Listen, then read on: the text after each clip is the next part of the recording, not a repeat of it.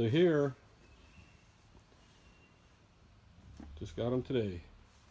May 19th. Ordered them on April 3rd. We will do an unboxing here in about 15 minutes.